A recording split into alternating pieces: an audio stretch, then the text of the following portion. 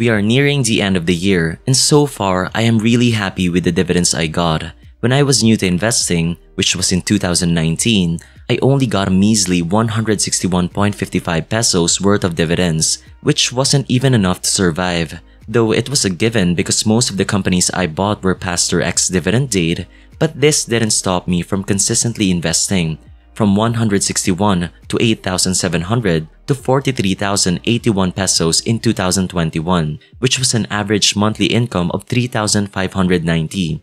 I was so happy back then to finally feel my dividends, and now in 2022, it has grown to 68,605 pesos, which is an average of 5,733 a month. And it doesn't stop there. Three of my holdings have already announced their payout in December, which are LTG, MREIT, and Globe. This will increase my monthly dividend income to more than 6,000 pesos a month. My goodness, this is already enough to pay our electricity bill at home. Now, although dividend investing is a slow process, but it sure is exciting to earn that amount without even breaking a sweat. So I will just continue investing in great companies to let that dividend snowball effect run its course and eventually grow to a sizable amount that will be enough for me to say to myself, I am already financially free. Though it's still a long way to go, it's better than just leaving my money lying around in my bank account, earning little to nothing at all, which is what most people are doing here in the Philippines. By the way, if you haven't watched my video about why a lot of Filipinos are poor, I suggest you watch it. Anyway, for November, my invested money has grown to 1,539,900 and with the market slightly recovering, my total return is now 9.09% or 140,003 pesos. This is with the Philippine market still at a negative 18.33%. And for FME ETF, which is our only available ETF that tracks the index, it's at a negative 15.77%. Now I don't know where things are headed. If you've watched my videos, I really don't care about that. Predicting the market is a waste of time. What I only look at is how the companies I hold are doing and the potential companies that I will be buying in the future. Now I bought a lot of stocks in November, namely Megaworld REIT, Double Dragon REIT, Filinvest Land, and Cosco, and I added more shares to my two largest holdings, Megaworld and LTG. Now I want to talk about why I keep on buying Megaworld and MREIT. I believe in the company's future growth, and their earnings had been growing steadily over the years. The only time they had a negative growth was during the pandemic, which was a given because of all the lockdowns that happened in the Philippines. And it wasn't only Megaworld that was affected, all real estate companies as well. Filinvest, one of my holdings, suffered the same, but now we can see Megaworld is almost near its pre-pandemic earnings. And what I also like, they have increased their payout over the years, although they don't have a high dividend yield, but since the price right now has dropped significantly, it now has more than 2% yield, and just by looking at their price valuation, the PE ratio is only at 5.2. Price to book is at a very low 0.3, which means I am buying the company's assets at a huge discount. This makes it more attractive for me, though in the short term things don't look good in terms of its stock price, but the company's fundamentals are solid. Connecting it to the REIT, MREIT, since I like Megaworld's fundamentals and the REIT has a good dividend yield, of course I'd be investing in it as well. As for LTG, same thing. Their earnings have climbed over the years, and even during the pandemic, they maintained a good revenue, even though their bank holding was affected a lot.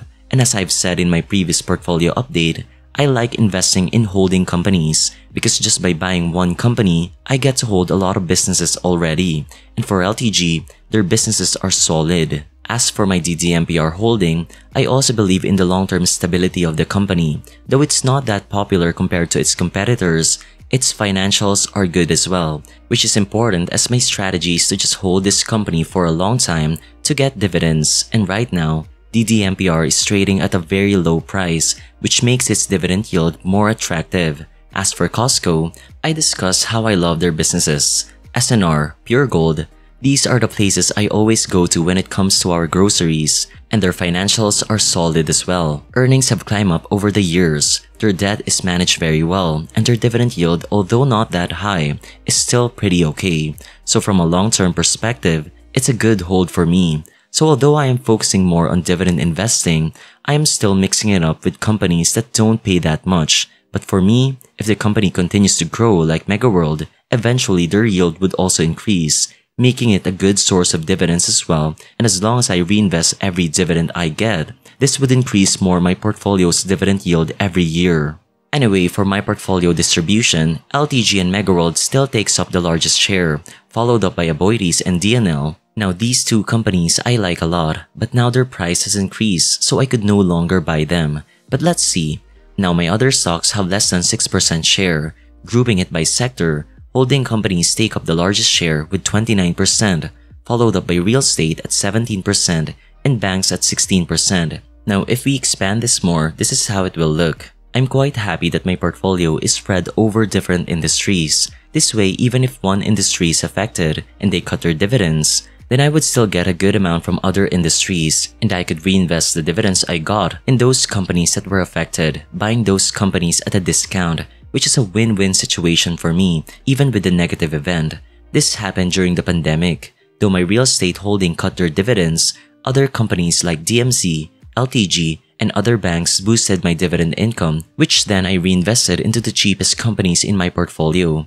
By the way, if you're curious as to where I get all of the data I'm showing, this is from Simply Wall Street. If you want to try it out, they have a forever free basic plan and if you sign up using my link, you get a 14-day free trial of all their platform's features from stock analysis, portfolio tracking, and a lot more.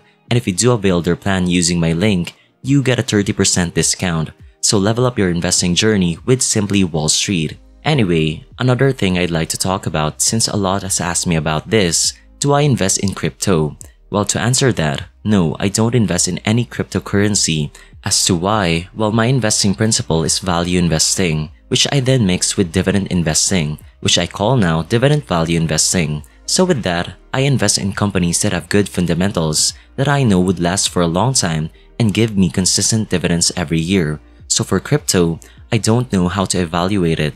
There are no fundamentals I can look at, so how will I even able to analyze it if it's undervalued or not? It doesn't make sense to me, that's why I don't invest in it, and I think would never invest in it in the future. Because for me, the fundamentals of the company are what matters, especially for dividend investors. Just imagine if the company's stock price falls, I won't even panic because the company is still the same. They are still earning consistently and are still going to pay me dividends there is something I can look at. But for crypto, there isn't anything like that. I will just be hoping that it will again be hyped. It doesn't even give me dividends. There are no fundamentals to back it up. Just the hope that it will one day be a stable currency. So the bottom line is, I can't see how I would even evaluate it. With that, why would I even invest in it? It may be different for you. Maybe you have a way to evaluate it or you see its potential in the future. Each investor's view is different. This is just my thought about it. I just believe what Warren Buffett always says, invest in your circle of competence. You won't go wrong with it, and it's much easier, which is better for my mental well-being. This then helps me to last long in investing, which for me is the best strategy. Long-term investing is the way to go. I don't like putting my trust in hype or what some YouTuber or what this random guy is saying. I want to put my money on the things I can analyze well and the things I'm comfortable holding. So anyway, find a strategy you can continue doing for a long time. For me, the stress-free way of investing is the way to go. Actually, I am only active in investing when earnings are released, but this is made easy using Simply Wall Street. It gives me a notification every time earnings and dividends are released. Also, I update my watch list every year to update my buy below price. That's it. It's that easy. I want a strategy that a lazy person can do for a long time. So this ends my portfolio update for this month. So if you still haven't clicked the like button, then I'd appreciate it if you do so before leaving. And check out my other videos as well. Thank you and see you in the next video.